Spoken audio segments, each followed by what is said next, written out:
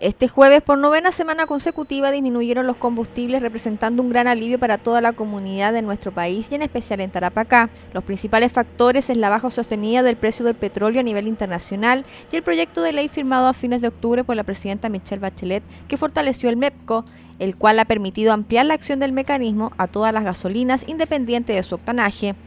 Esta positiva noticia también ayudará a disminuir el precio de las tarifas de microbuses licitados en Iquique y Alto Hospicio, beneficiando a miles de usuarios. Así lo informó el Ceremi de Transporte y Telecomunicaciones Manuel Morales, quien comentó que se espera que en los meses de enero y febrero también haya una baja en el polinomio, lo que reflejará tarifas menores en Alto Hospicio y la ruta Iquique-Alto Hospicio.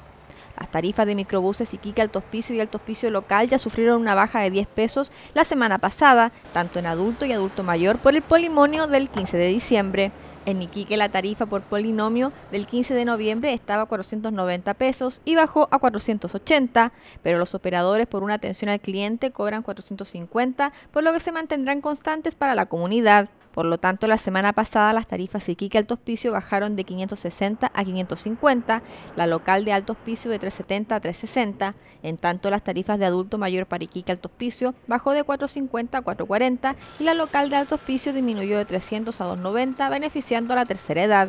El Ceremi de Transporte manifestó que con la novena caída de combustibles esta semana, espera que en los próximos meses el polinomio muestre una baja que permitirá tarifas más reducidas. Asimismo, reafirmó que con estas medidas, más usuarios se sumen dejando así el auto particular en casa para utilizar un transporte seguro, cómodo y que tendrá mayor y mejor frecuencia, siendo más amigable para la comunidad.